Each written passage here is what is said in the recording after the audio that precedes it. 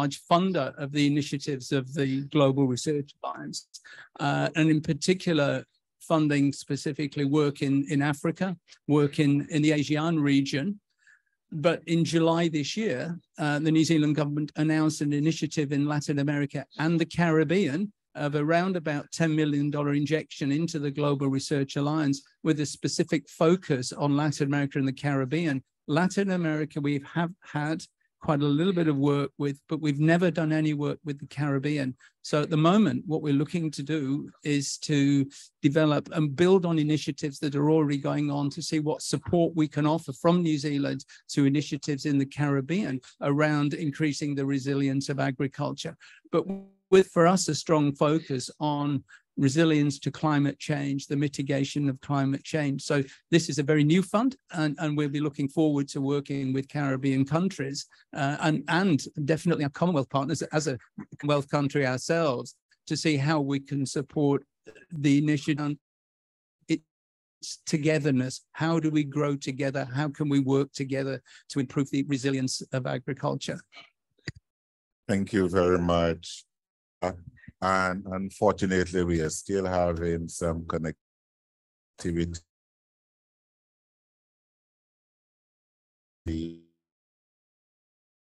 issues. Um, so commentaries with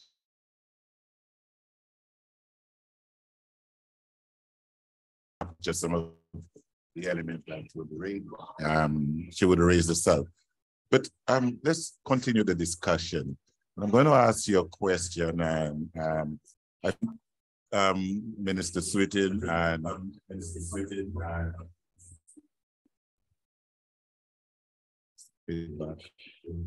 um, technical difficulties. Um, I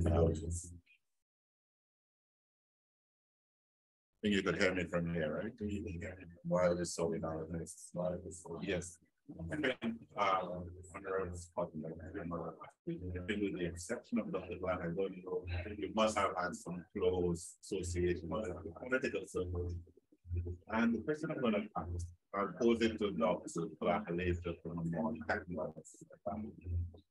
We we see the makeup of the community, your lives, well-being,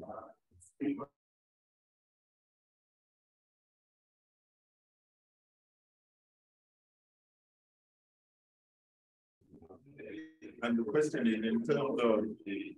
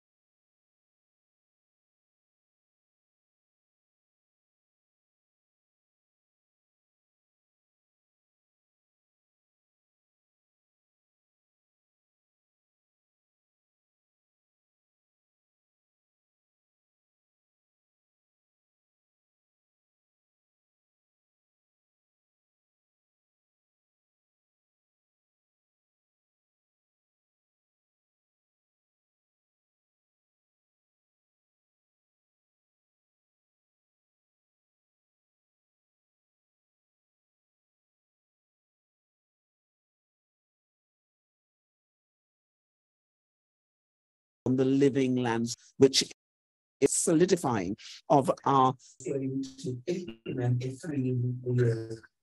the, the, the, the loss loss and damage loss and damage was actually referred to in the communique. Technical issues are the order of the day, but um, I could, we could hear you, so probably until they sort out the. Hear what the minister said about virtuous farming.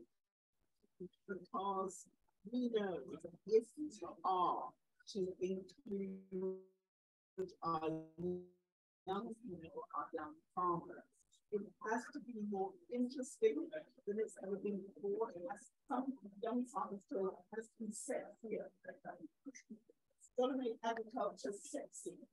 And it's not sexy, no one's going to do it.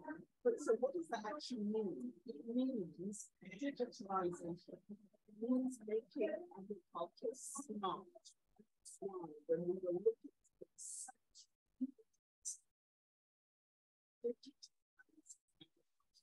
and works for farm.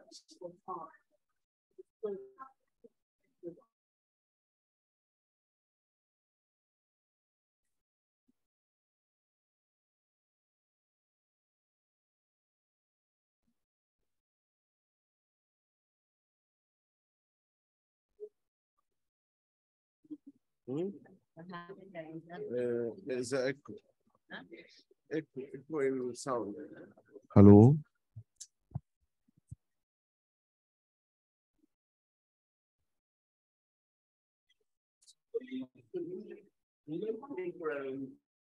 And much better. So I think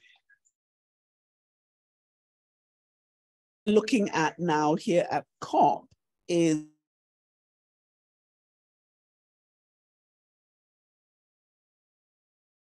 unity, but the whole purpose of us doing the much that we